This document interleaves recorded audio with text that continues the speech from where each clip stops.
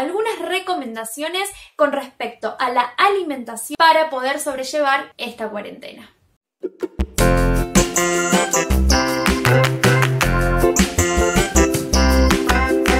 Hola gente, ¿cómo están? Mi nombre es Cindy Milberg y les doy la bienvenida a mi canal de YouTube.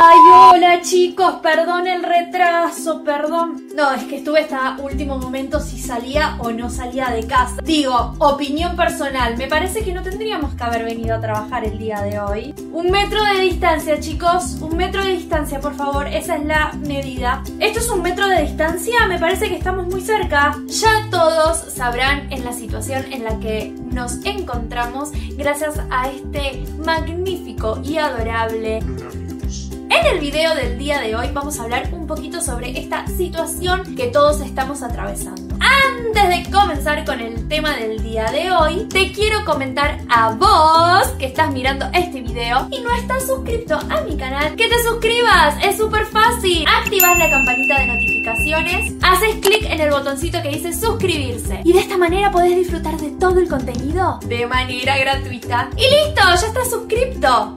¡Ay! ¡Ah! ¡Peligro! ¡Peligro! ¿Podrá tomar esto? En lo personal, estoy totalmente enojada con este virus. Me arruinó mi marzo. Yo me iba a casar y lo tuve que suspender.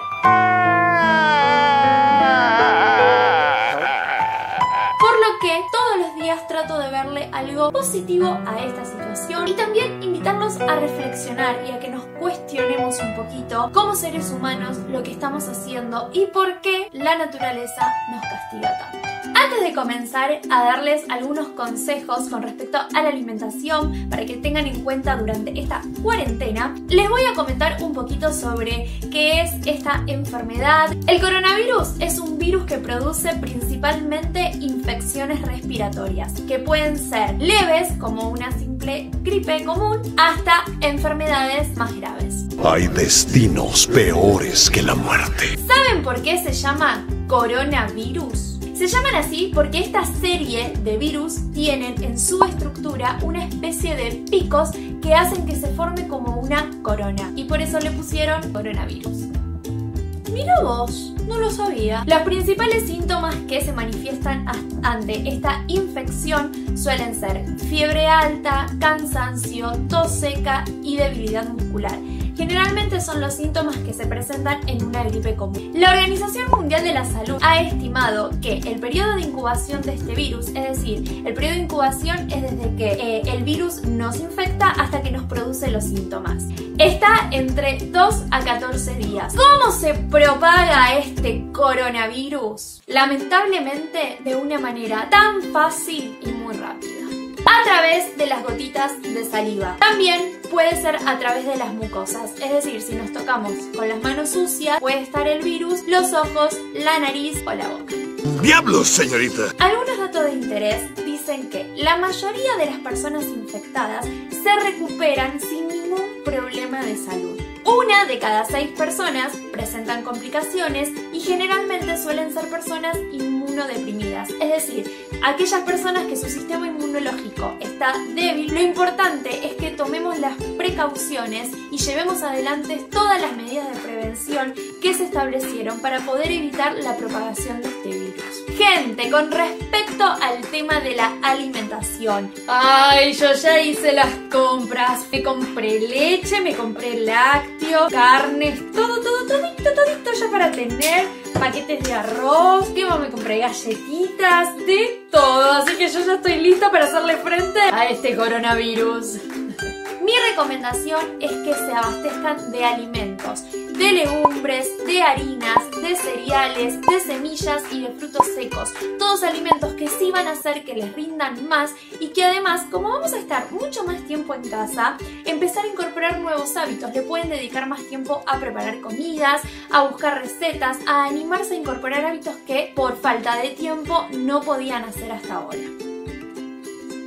Tener un sistema inmunológico fuerte no va a hacer que si el virus no tiene, nos tiene que infectar, no nos va a infectar, pero por lo menos va a hacer que, nuestros, que nuestro cuerpo esté más resistente para poder hacerle frente y para poder luchar contra ese virus. ¡Acércate, viejo! ¡Acércate! Que consuman muchas frutas, consuman muchas verduras, legumbres, cereales. Esos son los alimentos que tenemos que consumir. Tema frutas y verduras, yo les recomiendo que se compren aquellas que duran mucho más tiempo en la Las frutas, por ejemplo, tardan bastante días en ponerse feas, así que pueden comprarse frutas y todo lo que es verduras, por ahí tratar de evitar las de hojas, sí el repollo, sí el cale, que son verduras que duran mucho más tiempo en la heladera y no se les van a poner feas. Otra opción que en este caso es muy útil, el tema de los enlatados. Yo si bien no recomiendo siempre los alimentos enlatados por el gran contenido de sodio, de aditivos y todo lo que tienen, pero bueno, en este caso no son alimentos tan malos y son una buena opción para que podamos abastecernos.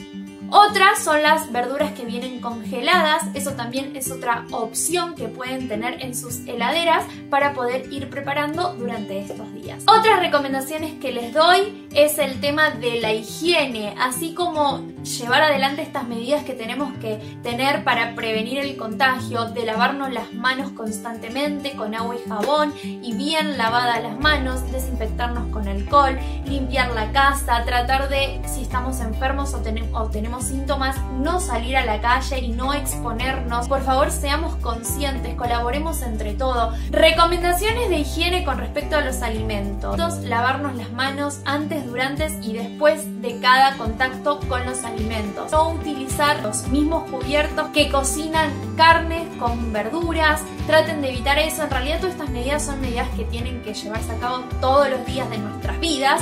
Pero bueno, ahora vamos a reforzarlas y recordarlas. Higiene, desinfecten las superficies, desinfecten todo lo que son los eh, elementos para cocinar. Esas son cosas que siempre hay que tener en cuenta. Una cosa es limpiar, que es pasar un trapo y sacar la mugre. Y otra cosa es desinfectar.